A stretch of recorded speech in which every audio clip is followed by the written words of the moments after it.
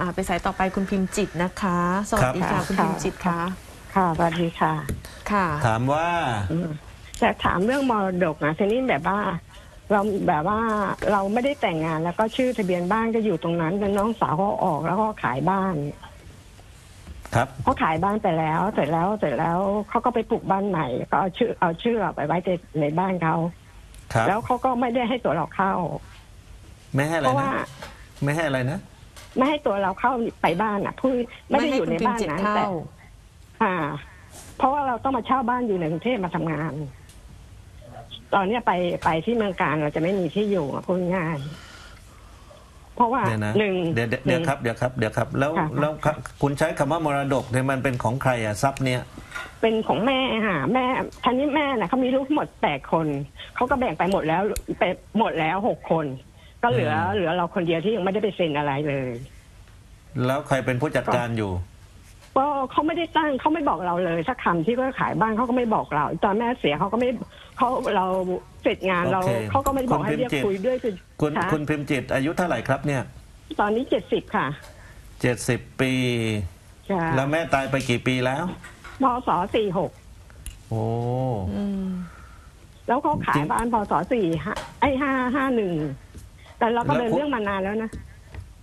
แล้วพี่น้องอื่นเขาได้ไหมได้ทุกคนอะเหลือเราคนเดียวที่ไม่ได้ แล้วถามถามว่าทำไมไม่ได้ได้ถามพี่น้องไหมเขาบอกว่า อืมก็ถามถามถามพี่ชายคนที่เขาเป็นเจ้าบ้านแล้วเขาย้ายออกไปน่ะเขาบอกว่าอ้าวเขาเขาเองเขาก็ไม่รู้เรื่องเหมือนกันเพราะเขาไม่ได้บอกใครเลย เพราะเขาให้หลานจัดการ เพราะหลานเป็นคนเป็นเขาเรียนสูงอะ แล้วเราก็ว่าขายเนี่ยเราเราก็บอกว่าทำไมทำไมไม่ไม่คุยกับเราบ้างเลยเหรอก็ถามเขาอืม เขาก็ไม่ยอมพูดไม่ยอมคุย โอเคพองั้นเข้าจะไปถามเขาอะคุณพิมพ์จิตฮะ จะถามว่าไงครับ เรื่องนี้จะถามว่า ว่าเราจะเรียกร้องมรดกอะเพราะว่าธรรมดาตอนเราเดินขึ้นเราขึ้นศูนย์ดำรงธรรมอะเขาก็บอกว่า เราก็ถามว่าจะเอาเท่าไหร่บอกเอาแปดแสนเพราะเขาขายไปหลายล้านครัอับนี้เสร็จแล้ว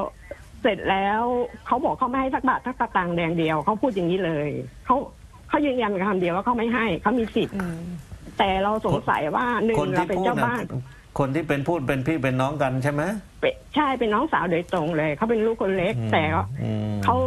ก็ไปกู้เงินมาเอาที่ไปจำนองกู้กู้เงินมาปลูกบ้าน แล้วพอแม่เสียปั๊บแม่แม่เสียได้ประมาณสามสี่ปีเขาก็ขายบ้านหลังนี้ โดยที่เดี๋ยวนะเดี๋ยวนะแล้วเดี๋ยวนะครับจะค่ะ เป็นโฉนดใช่ไหมเป็นโฉนดที่ดินใช่ไหมครับ ใช่ค่ะใช่ค่ะ โอเค เอาอย่างนี้นะครับ ค่ะสรุปประเด็นค่ะ อย่างนี้นะครับค่ะ ถ้าเรื่องนี้เนี่ยสิ่งที่ผมว่ามันมันพอพ่อแม่ตายเนี่ยมันต้องจัดการมรดกนะครับ เพียงแต่คุณไม่รู้อะมีการจัดการมรดก พอจัดการกันแล้วเนี่ยที่เขาอ้างว่าให้หลานดูแลหลานเรียนสูงเนี่ยเข้าใจว่าน่าจะมีใครเป็นผู้จัดการนี่แหละ พอจัดการมรดกของคนตายเสร็จปั๊บก็เอาไปโอนกันเองในบรรดาพี่น้องที่รู้เรื่อง นะครับ แล้วก็ได้กันไปก็ไม่มีปัญหาส่วนคุณเป็นโสด คิดว่าโอไม่เคได้อืมก็ไม่ได้โอนให้คุณค่ะ นะฮะเพราะงั้น มันเดี๋ยวกันนะฮะมันแต่บ้านแม่เขามีที่สิบเอ็ดไร่เขาก็แบ่งให้หมดให้รู้หมดทุกคนแล้วแต่มันเหลือสองไร่กับบ้านเนี่ย ที่เขาจะจัดการขายโดยที่ว่าเขาไม่บอกกับเราเลยสักคำที่ผมเขาถามแบ่งคุณให้ก่อนเนี่ย ถามค่ะ คุณได้มาบ้างแล้วใช่ไหมคุณอะได้ไม่มาได้บ้างแล้วไม่ใช่ไหม ไม่ไม่ไม่ได้เลยแล้วแล้วก็ไม่ได้เซ็นอะไรด้วยนะฮะ ไม่ได้อะไรเลย หมายถึงไม่ในได้สิบอะไรเอ็ดเลย ไร่ไม่ได้อะไรเลยใช่ไหมคะ ไม่ได้เลยค่ะ ไม่ได้เลย เพราะว่าอืมแล้วเราจ้างทนายทนายก็ไปเปลี่ยนเอาที่นู่นที่มันลึกอะให้เรา คือแต่แล้วก็ราคามันก็ถูกกว่าแล้วก็เปลี่ยวด้วยค่ะ มีทนายแล้วด้วย เอาแล้วถ้าค่ะ มีทนายแล้วมาถามถนอมอีกทำไมอะไม่ไม่จะจ้างแบบเขาไอ้นั่นแหละมันเหมือนว่าหม ไอ้เขาขึ้นศาลแล้วทีนี้อืมเราไม่เราบอกว่าเราไม่พอใจที่ตรงที่เขาให้เปลี่ยนให้ แต่ศาลเขาบอกว่าเราไม่มีหลักฐานอะไรอย่างนี้ค่ะมันเป็นที่ของพ่อ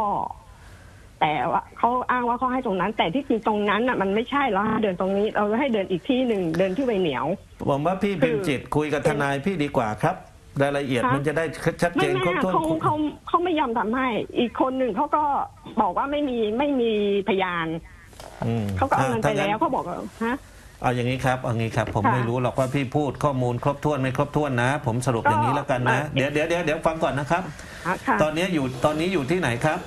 ตอนนี้อยู่กรุงเทพมา แต่เอกสารก็อยู่ที่เราอยู่นี่เขตนะไหนคะอยู่เขตไหนครับ อ๋ออืมเอกชัยค่ะเช่าห้องอยู่บ้านเอก เพื่อนอยู่ โอยกระชัยพี่ไปที่ซอยวัดสิงห์นะครับ ไปพบอายการคุ้มครองสิทธิ์ที่ศาลทนอยู่ที่วัดสิงห์นะครับ ใกล้ๆเอกชัยที่อยู่นั่นแหละ เหรอ อยู่ใช่ เราเอาเอกสารนี้ไปให้ที่ตรงวัดหน้าวัดสิงห์เนี่ยค่ะ ไม่ไม่ใช่เอาไปให้หนาวัดแต่ให้ใครหนาวัด ไม่ไปพบไม่อายการอบพบอายการอบพบอายการไปไปหาที่อายการศาลธนบุรี อยู่ที่วัดสิงห์ซอยวัดสิงห์ตรงนั้นอยู่แถวนั้นน่ะรู้จักไหมค่ะ เคยไปไหมพอพอเคยเห็นคุ้นเคยไหม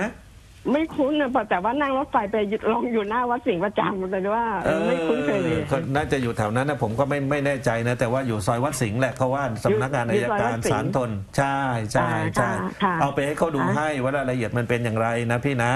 ค่ะค่ะเพราะของพี่มันซับซ้อนแล้วผ่านมาตั้งหลายสิบปีนะครับแล้วโอนย้ายขายกันไปแล้วด้วยก็งไม่ถึงสิบปีนะคะอืมยังไม่ไม่ที่ไม่จริงก็นับยังตั้งแต่นับตั้งแต่แม่ตายไง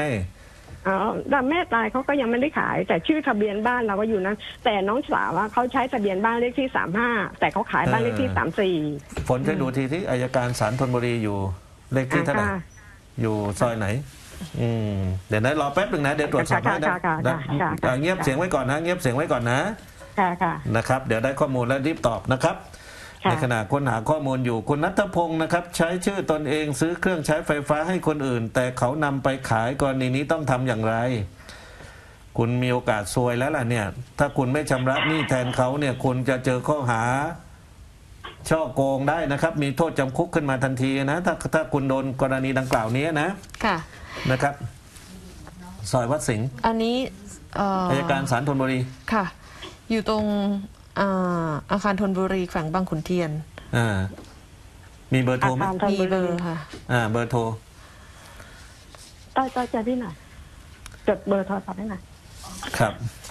สักครู่นะคะ ค่ะค่ะค่ะเอออ้าวคุณคุณดูทีวีอยู่ไหมครับเนี่ยอะอ๋อไม่ได้ดูค่ะทีค่ะวีไม่มีค่ะอ้าวศูนย์สองจดสี่เบอหนึ่งร์ หกสองใช่ไหมฮะศูนย์สองสี่หนึ่งหกค่ะ ศูนย์สองสี่หนึ่งหกสี่หนึ่งหกศูนย์เจ็ดเก้าหกศูนย์เจ็ดเก้าหกใช่ครับ ศูนย์สองสี่หนึ่งหก